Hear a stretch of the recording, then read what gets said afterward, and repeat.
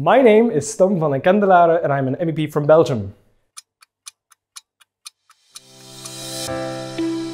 The single market is the biggest achievement ever we've made as Europeans. It's our possibility to have a free flow of goods, services, capital and finance.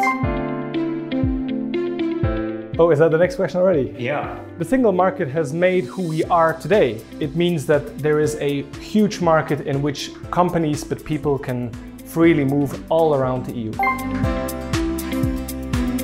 Everyone is a winner of the single market. Me as a consumer, I'm definitely a winner because I can eat Italian mozzarella for dinner. Uh, but also producers. They are able to export to a much bigger market. Think about Belgium, my country, very small country. We're able to export all across Europe.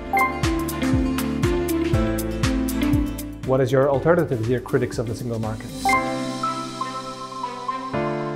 Today's Europe without the single market, I could simply not imagine. I'm a kid of the 90s. I have always seen the single market as it exists today.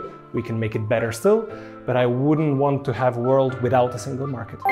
How are you going to celebrate 30 years of the single market? I'll start my day with a French croissant, I'll eat German food for lunch, and I'll have a Czech beer for dinner. I think that's alright.